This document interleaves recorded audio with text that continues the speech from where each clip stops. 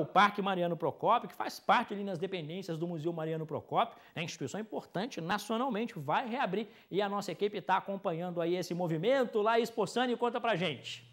Olá, boa. E é isso aí. Mais uma notícia, uma notícia boa, né? A gente gosta de natureza, Sim. ficar pertinho ali também de monumentos históricos, conhecer um pouco da história da nossa cidade e também ficar pertinho da natureza é bom. Então, é, foi reaberto parte do parque hoje, né? E aí vai funcionar de terça a domingo, de 8 horas da manhã até as 5 horas da tarde. Só para quem participa do clube de caminhada lá no parque vai poder chegar um pouquinho mais cedo, às 6 horas da manhã mas para o público em geral, de 8 às 5 horas da tarde.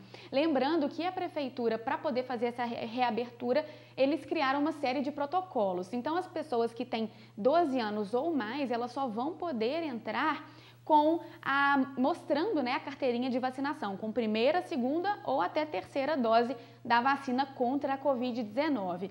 E aí a lotação máxima é de 200 pessoas e eles pedem para que fiquem no máximo duas horas lá no parque, também respeitando o distanciamento social, com o uso de máscara. O bebedouro, por exemplo, ele só vai poder ser utilizado para encher garrafinha e aí os ensaios fotográficos e o parquinho não foram liberados ainda. Lembrando que desde março de 2020 o parque está fechado e aí desde janeiro deste ano eles estão fazendo uma série de intervenções estruturais para poder fazer essa parte né, dessa reabertura do parque. Então é um local muito legal, muito bonito para que a gente possa ir é, ficar um pouquinho mais perto da natureza, né? Com certeza. O parque é pertinho da minha casa, Laís. Eu vou assim escorregando, ó. Me chama. lá. Vou rapidinho, vamos lá. Você almoça lá em casa, depois a gente passa, né? Fica duas horinhas permitido lá no parque, rapidinho. Bom demais. Mais um espaço ali de lazer liberado aqui em Juiz de Fora. Esse com um ano e meio, Laís, fechado. E que bom